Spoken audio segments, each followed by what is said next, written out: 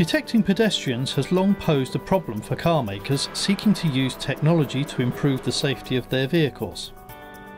It's for two main reasons. People move unpredictably, and unlike shiny cars, they aren't very good at reflecting laser beams or radar used by existing anti collision technology. In the new Ford Mondeo, engineers have come up with a pedestrian detection system that addresses that. The system works by using two sensors, a forward-looking windshield-mounted camera and a forward-looking radar. The signals of both sensors are merged and monitor the area in front of the vehicle. If there is a pedestrian and a collision becomes imminent, the driver receives an audible and visual warning. This gives the driver time to react. If the driver stays unresponsive, the vehicle is applying the brakes autonomously with maximum possible deceleration.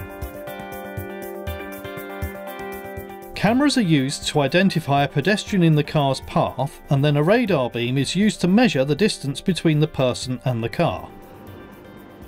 A computer then uses an algorithm to predict where they are likely to step next. It's a technology that engineers hope will prevent collisions between cars and pedestrians and reduce the number of people injured on our streets.